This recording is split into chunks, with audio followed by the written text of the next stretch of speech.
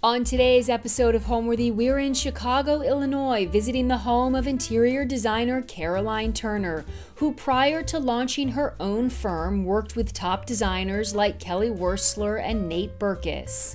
Raised in the South and now living in the Windy City, Caroline blends classic inherited pieces with youthful style to create a space that is both detailed and approachable. Enjoy!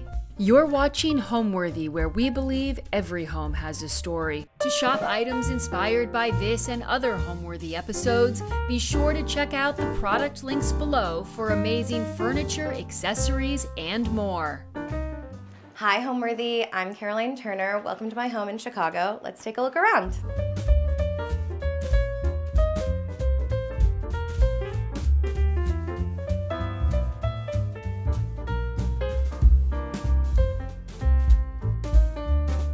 I'm Caroline Turner. I'm an interior designer and I own Caroline Turner Interiors. We are in Chicago in Sheridan Park in my 1914 walk up.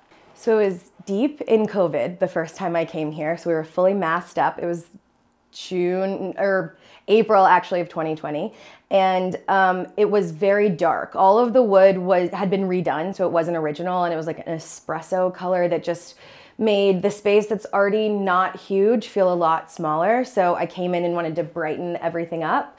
There was also a lot of excessive built-ins that just felt like very heavy.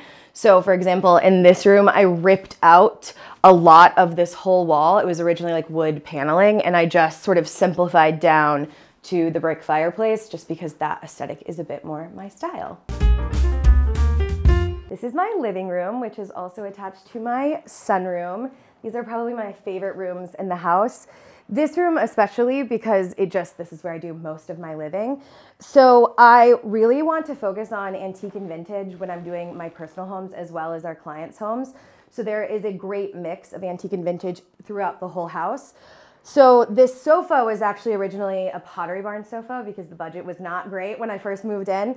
And so I kept it for a couple of years. It just was not wearing that well. And I've always been obsessed with this fabric. So I just decided I would bite the bullet and do the whole sofa in a pattern. And while clients tend to get nervous about that, I always recommend it. I find that it is the most durable and it literally hides everything. Forget a white sofa and go with a pattern sofa. The fireplace is one of the focal points of this room. And so I didn't, I wanted it to sort of be more about the form and the shape of it, which is why I ended up doing it white.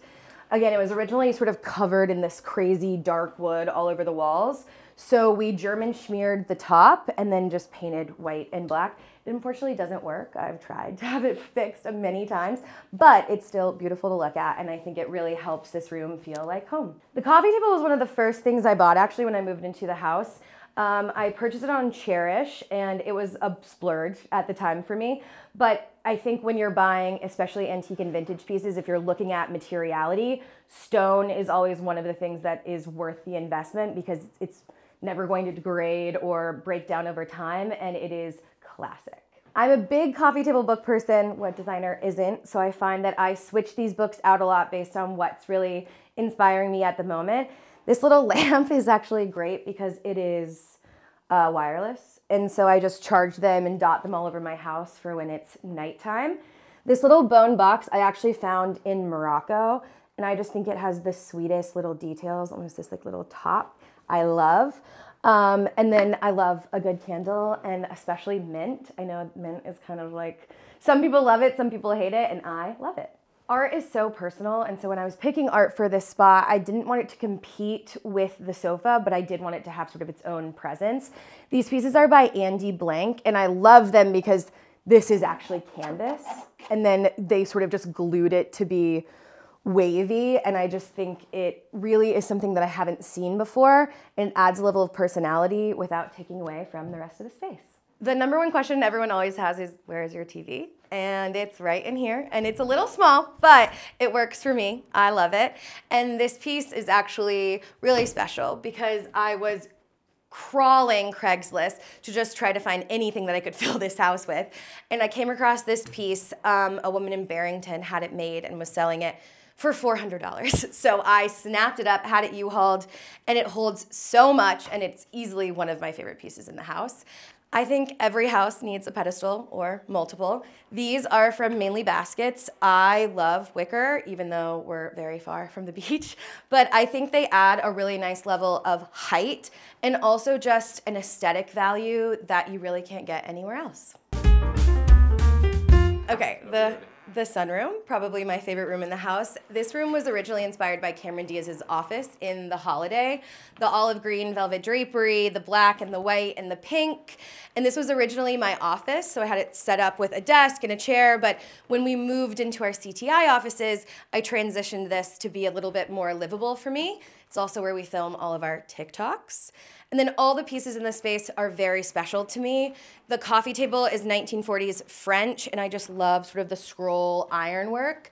The rug I actually personally picked up in Morocco on a trip with some friends. We got to go to a Moroccan rug shop and look through thousands of rugs. I picked up about 14, and this is one of them.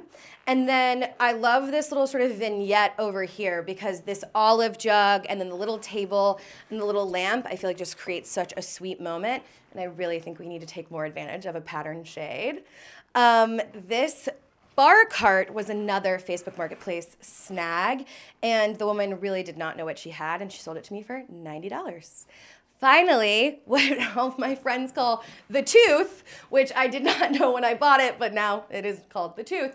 Um, this plaster shade, I think it just, I just love a plaster light. I will never not love a plaster light. And so I thought it really made all the space come together without taking away from any of the other elements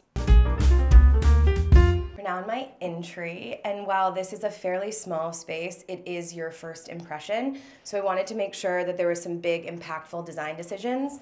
This striped wallpaper I felt like really worked with the rest of the house and is geometric enough that it doesn't take away from some of the other elements. Every single piece in this room, except for the light fixture, is antique or vintage that I personally picked up. This originally a candelabra, now coat rack, um, I believe I got on like Facebook Marketplace. This mirror was from Chairish and was originally for a client that didn't want it, so now it's in my house. Um, the this sort of table area I love. I love walking in and seeing this. This is one of my favorite pieces I've ever picked up. I think it was thirty dollars. And some people won't buy things when there's chips and sort of decay, but that's personally my favorite thing about secondhand antique and vintage. Like I want to keep the errors and mistakes because that's what makes it so interesting.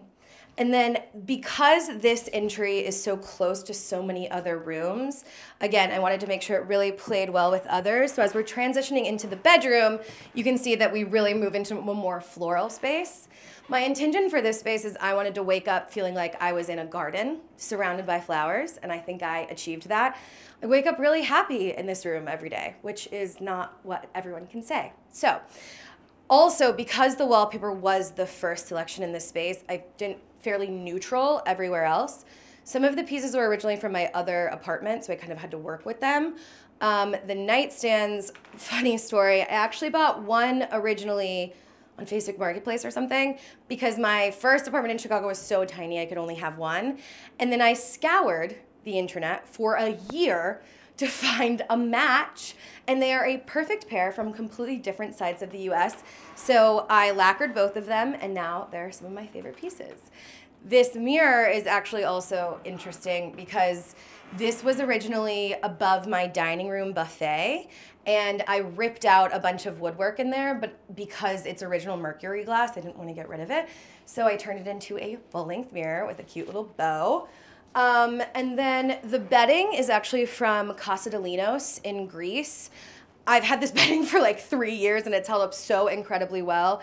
I recommend it to all of our clients. I also think, again, a nice sort of like light pattern, which is what I consider a stripe, brings in another element and it keeps everything from feeling a little too sweet. So all the woodwork was original from when I moved in, but the previous owner had sort of restained it in espresso color, so I didn't feel too bad painting it. Um, but one of my favorite things when I was really looking at the house was how the crown crawled up onto the ceiling. I think that's not something you see every day. And when I was looking for a house in general, the architectural details were probably the most important thing. You can make any space beautiful, but a white box is going to be a lot more expensive than an original home with original details. This is a piece I picked up when I was, I think, shopping with an intern a couple of years ago. I just, she was shoved in a corner and I kind of felt bad for her. So I rescued her and brought her here. And I just think it feels very feminine energy, which I like. These are plaster molds that I actually picked up in Detroit on a job. And I just thought they were so special. I have no idea what year they're from. I don't know anything about them, but it felt like it added a level of character that just could not be replicated. And then I added the black bows because I wanted there to be like a tie to the black nightstands and again, still keep that sort of feminine energy. I grew up in a very small town where there are not interior designers. That is not a job. So when I went to school at Auburn University, I originally went for occupational therapy, which if you know me, you know that's so funny. I could never do that job. First semester, I already knew it wasn't gonna work. So I was talking to someone and she was like, What about interior design? I was like, uh, Is that a real job? But I joined, I got in, and it just really could not have been a better decision for me. I um, then sort of going into my so junior year, I went to work for Kelly Wearstler in LA, which was probably the biggest, best experience of my entire life. I love being able to tell people that she's incredible because she really is. She has the more creativity oozing out of her finger than most people do out of their whole bodies. Um, and then after that, I went to work at Nate Berkus as an intern. The woman who actually who hired me at Kelly Wearstler then hired me at Nate Berkus. I was there for a while. I then was hired by Kara Mann, worked there, got some commercial experience under my belt, and then I went back to Nate Berkus. And then finally, when we parted ways, I started my firm five years ago next week. When you're working with clients on homes or commercial, there's so many different opinions. And so when I'm really able to just be in my creativity and not really worry about what anyone else thinks, I think that's ultimately when I do the best design. It's always interesting because people say more about this home than they do any other job we've done that have much bigger budgets. And I think it's just because you can feel the personality because this really is my home down this hallway. And so this art I love because I um, I originally picked up some wallpaper from Facebook Marketplace. Then you can tell this is hand sponge painted, which I think is so cool. The wallpaper was supposed to go in this hallway. There was not enough. So plan B, I decided to make pieces of art out of them. And you can see I did different, I sort of framed out different parts of the wallpaper for each one. And I've never seen anything else like it we keep going. Oh, and I should mention this chandelier was a find also during COVID. I met someone in the Lowe's parking lot, and it was originally like pink and green and white and had been in a little girl's room. And so I did some cherry red spray paint, and voila. Now, on to the bathroom. So this space was a full gut, and I actually didn't do it right when I moved in. Um, it was beige and very sad 2000s and so when I was doing this, budget was not amazing. So I wanted to make sure that I was really putting my money in the places that I recommend putting my clients' money as well. So this vanity was made by my woodworker and I designed it. I went with a Carrara marble because it's the most affordable and really it's just extremely durable. I did polish nickel in here because personally I only work with polished nickel and unlacquered brass. Polished nickel tends to be a lot easier to match because brand to brand, it's pretty consistent, whereas unlacquered brass is just not that way. So I decided to do polished nickel in here. Some of my favorite elements, these Kinkeldy sconces that I found on Etsy. Um, they just let off this sort of like beautiful sparkle, and again, it feels very feminine and girly. This is actually a medicine cabinet. I'm scared to open it. There's a lot in here, um, but I love it. I love products, so it's perfect for me. Um, and then, if you know me, you know I'm obsessed with taking baths. So this is my bathtub. I literally am here every day. um, I've sort of created a ritual for myself transitioning from work to home and this is how I do it. And I just love, I did end up going with a slipper clawfoot tub because it just gives you like a lot more depth. If you're a bath taker, you know what I'm talking about. Um, and then I did these curtains just because I sort of wanted to feel enveloped. This piece is maybe my favorite piece of art I own. I it makes me laugh every day. I actually picked it up just this piece of paper in New Orleans on a trip and then had it sort of floated framed and again, I just love it. And then this piece was a piece I picked up I think like in an antique store in Michigan and I just love the little guys fly fishing because it reminds me of my dad and my grandfather. On to the dining room. So this is the most moody room in the house, and I think every house needs at least one moody room. Uh, the walls are Sulking Room Pink by Farrow & Ball, and I will not lie to you, that is literally why I chose it, because I love to sulk, and so I thought, that's perfect for me. So this space has seen a lot of dinner parties. My friends and I love to throw a good dinner party. So I wanted to make sure there was adequate seating and that people want to stay for hours and hours and hours. So these chairs are extremely comfortable. And then I added a sofa so that way when people are sort of like done with dinner and retiring, they can all still hang out in here if they want. This piece of art is actually made by someone I found on Facebook Marketplace. And then I, they weren't doing exactly what I wanted stylistically, but I could tell they could. So I sort of micromanaged it, and then this is what came out of it, which I love. We do these a lot in multiple different colors and high gloss for clients because it doesn't take away from the rest of the space, but it adds a crazy level of texture. These lights are from Murano, Italy. They're Murano glass. I love Murano glass, like have a love affair with it. The way that it ricochets light is unlike any other lighting. You really can't find these details in current production pieces unless they're coming direct from Italy. This wall, when I moved in, was really, really dark wood, and it was actually all the way to the ceiling. And then the mirror from my bedroom was back here. And it just felt very heavy, and it sort of took over the rest of the space. So I did what we call drenching, which is where you have everything in the room the same color. There's actually an incredible amount of storage in here, which is really good when you're working with my amount of square footage. I shove everything in here. And then I love sort of these original glass cabinets. They, I have china on one side and then some sort of like keepsakes and glassware on the other side. And I love being able to show off pieces without them being in a fully open bookshelf because it just gives you a little bit less visual clutter. I've said Facebook Marketplace a lot in this video, but these are from vintage place settings in Chicago from Facebook Marketplace. They're actually originally used in like a 90s Versace show. And so when she told me that, I was like, oh, sold, I'll take them. And I just feel like uh, color-wise and stylistically, it really works with sort of like the pink moodiness. Um, I also have my grandmother's china, which my grandfather actually bought in Germany when he was in the Vietnam War and brought back from her. And it is just so sweet, sort of this gold detailing. They really don't do it like this anymore. And then one of my favorite things, actually don't drink anymore, but I have a lot left over from remnants of life of drinking. These Estelle colored glass um, wine glasses, I still put ginger ale in them. but I just love a colored glass. I feel like it really adds like a fun touch to an everyday experience. I personally love to host. I feel like I need to do it even more than I already do. I have a great group of girlfriends and we just love to come here and order pizza and hang out. I'm not a cook. Dinner parties do not include me serving food, um, except what I can order on DoorDash. But this room really just like envelops you in sort of this warm feeling and people want to stay for a really long time, which is probably the best compliment I could ever get. This piece I actually purchased my first two weeks in Chicago. Um, it's mid-century modern wood, burl wood piece. But what I did not know is that the woman who owned it previously was a smoker. So I can't put anything in here or it smells like smoke. It used to be in this closet. So when I transitioned, as I was getting it out of my house, it was too heavy. So I gave up and I put a, a tablecloth over it, actually from Zara, I think. And it has sort of like this brocade detail. And when I did that, it was really just a quick fix. And now I love it because I set things up for serving here. Like often I'll do food on this side and drinks or dessert on this side.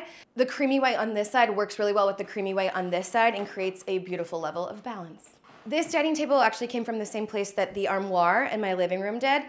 I was leaving, I was walking out, and I noticed that she had a tablecloth over something, and I was like, "Oh, what is that?" And she was like, "Oh, it's a table that I'm. I don't know what I'm gonna do with it."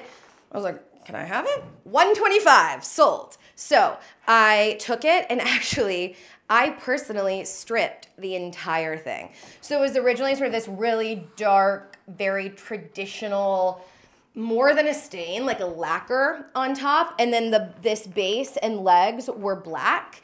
And that just didn't feel right to me. So I hand scraped the entire thing. It took me like three days it creates a level of character that I feel like in a new piece you just can't get. It also is great because I don't have to worry about coasters and spills because the table is aging with time and that's what I want it to do.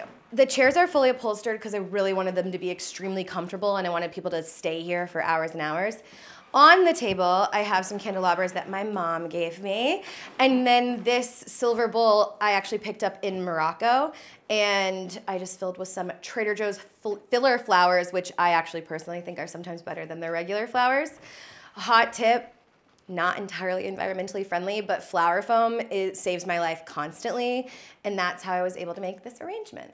And again, this is all in the pursuit of making the space feel really warm and cozy. And I love the level of light it lets off because it's not super bright. And so it really makes this space feel um, sort of dark and sexy. Tapestries are one of my favorite things to look for on Facebook Marketplace because again, people really don't know what they have. So I found this piece and I love it. I love the hunting dogs that are in it because I'm originally from the South. Um, and so I just had it framed and centered really the whole room around it. Now onto my kitchen. So like I said, I don't cook, but I know how to heat things up. So I do still, do still spend time in here. I did the cabinets a dark green, actually Jasper by Sherwin-Williams, and I personally painted them, which was a mistake. Um, but I love the color still, even four years later.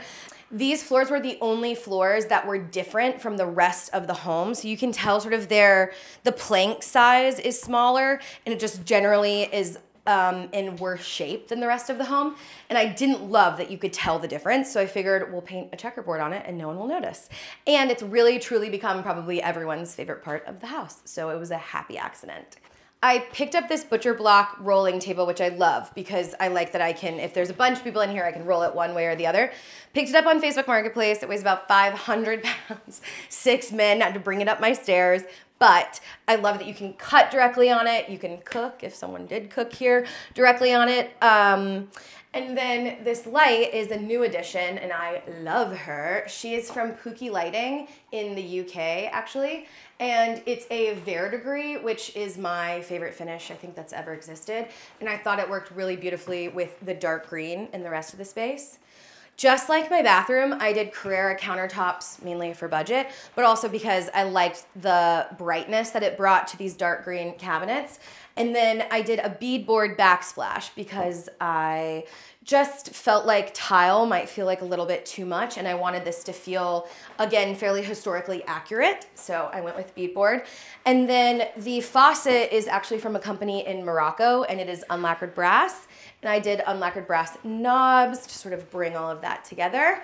And then I love doing something sort of different and interesting in a kitchen. So I hung this very ornate mirror and I think it really completes the space. So when I originally purchased the home, behind here is a closet in my closet and it's double depth. So I was going to break out this wall and create a pantry. That went out the window for a couple of reasons. And so I just put up some shelves from CB2, which really do function completely fine, and have styled them out to be sort of livable, but also pretty to look at. And then also this is my trash. And Everyone's always like, where's your trash? Well, it's in the laundry hamper. Now on to outside.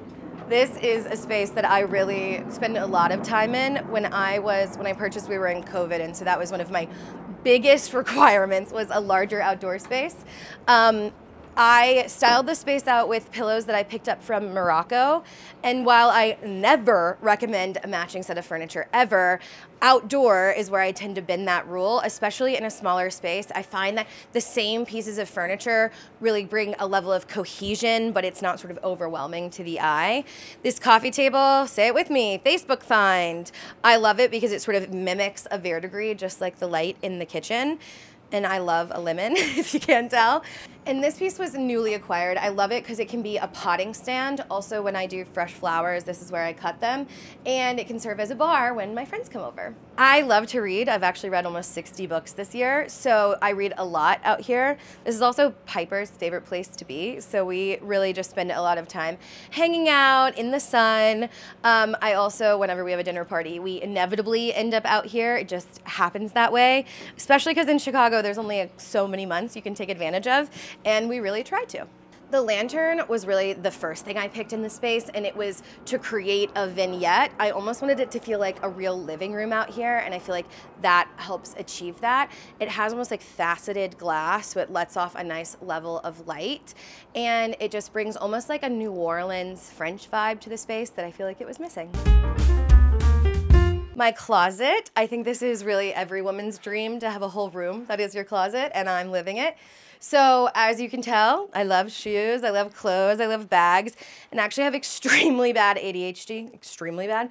So my object permanence, which means like you don't remember that you have things if you can't see them. Hence, everything is out in this space. And while I would love to be one of those girlies that's everything's closed and perfect, I would forget everything I own. So I also did this sort of hanging rack because I'm a bit of a psychopath and like to plan my outfits for the week. So this is where they all get lined up to make sure I'm making the best use of my time. And then one of the most recent additions to this space is the wallpaper. And it is Pierre Frey. It looks like it's sort of embroidered almost. And I stretch in here every morning. And so I lay and look up at the wallpaper. It just makes me really happy. And then the lantern was acquired, I believe, in France from one of my um, antique dealer friends. And I love the sort of sweet little loop. Ugh, you just don't get that anymore. And then the little balls on the bottom. I always love that in any sort of light.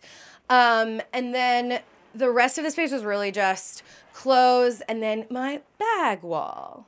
This bag I love. It's originally from the 1960s and it has even like a little tag that says that it's from Miami in here.